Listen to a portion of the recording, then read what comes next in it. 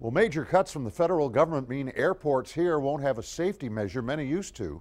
The FAA has to cut $637 million, so they're shutting down control towers at 149 airports. That includes the city airports in New Braunfels, San Marcos, and Georgetown. Our Sophia Beausoleil spoke with pilots there who say now they're going to have to be extra careful. Dave, pilots I spoke to say on beautiful days like today, there's a lot of traffic on the runway and in the air.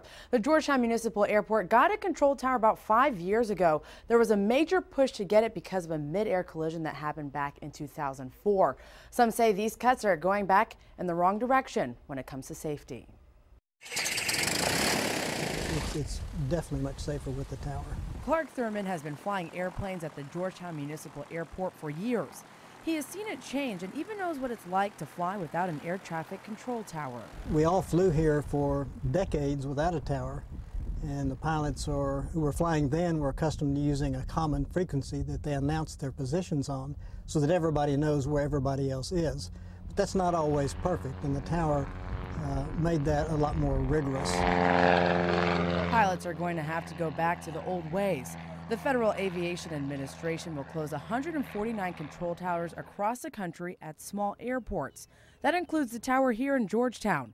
It's part of the government's effort to tighten its belt when it comes to spending. There may be a little transition phase. This flight supervisor says pilots will have to be more vigilant with their radios, communication, and visuals while in the air and on the ground.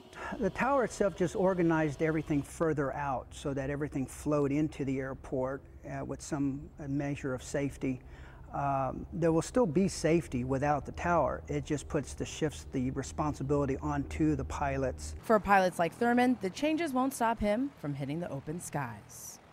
Now, the cuts are not only impacting pilots, six air traffic controllers will be without a job. The closures are supposed to happen on April 7th, which is in two weeks. In the studio, Sophia Beausoleil, KXAN News.